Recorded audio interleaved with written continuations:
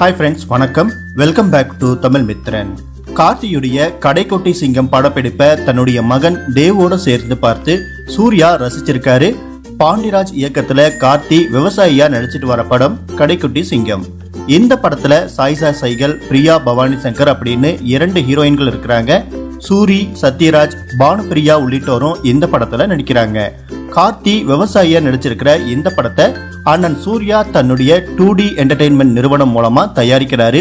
படப்பிடிப்பு விறுவிறுப்பா நடந்துட்டு இருக்கு படத்துல வர்ற ரேக்லா பந்தய காட்சியை பாண்டிராஜ் படமாக்கி இருக்காரு அப்போ சூர்யா தன்னுடைய மகன் தேவோட சேர்ந்து ஷூட்டிங் ஸ்பாட்டுக்கு வந்து படப்பிடிப்பை பார்த்து ரசிச்சிருக்காரு. ரேக்லா பந்தயத்தை மகனோட சேர்ந்து பார்த்த மகிழ்ச்சிய சூர்யா தன்னுடைய ட்விட்டர் பக்கத்துல வீடியோ மற்றும் புகைப்படங்களை வெளியிட்டு ரசிகர்களோட பகிர்ந்திருக்காரு. ரேக்லா பந்தயத்தை மகனோட சேர்ந்து பார்த்தபோது தன்னுடைய சிறு வயது அனுபவங்கள் நினைவுக்கு வந்ததா? சூர்யா ட்விட்டர்ல தெரிவிச்சிருக்காரு. படத்தை கோடைகால விடுமுறையின் போது ரிலீஸ் செய்ய திட்டமிட்டிருக்காங்க. சூர்யாவுடைய ட்வீட்டை பார்த்த கார்த்தி ரசிகர்கள் அவர் ரேக்லா பந்தயத்தில் கலந்து கொண்ட போது எடுத்த புகைப்படத்தையும் வெளியிட்டிருக்காங்க.